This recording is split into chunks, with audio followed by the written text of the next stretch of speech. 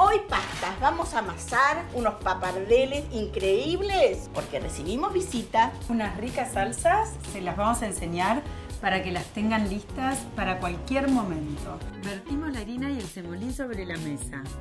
Marcamos una corona, en el centro vertimos los huevos, el aceite y el azafrán. Con ayuda de tenedor mezclamos los ingredientes internos, batiendo ligeramente. Los integramos y comenzamos a amasar hasta obtener una masa consistente y elástica. Es un placer hacer masa en casa, ¿eh? El rodillo para pasta KitchenAid es ideal para elaborar pasta fresca en casa.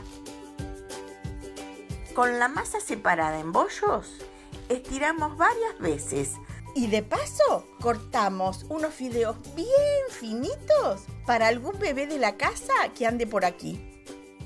Los papardeles son bien anchos, así que los vamos a cortar con cortapastas. En agua hirviendo con un poco de sal. Y sin aceite, porque si no va a desvirtuar a la salsa. La salsa tiene que impregnarse a esos papardeles. Sartén caliente con ajo y aceite.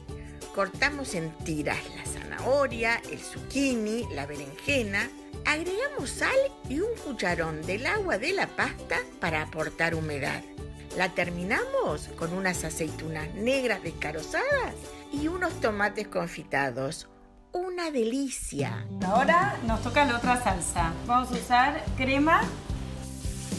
Vamos a ponerle queso rallado, parmesano, un poquito de sal, un poquito de albahaca. Y el toque final, un poquito de nueces.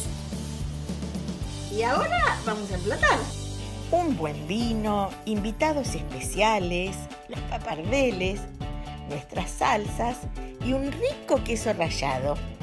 Eso es disfrutar de la vida.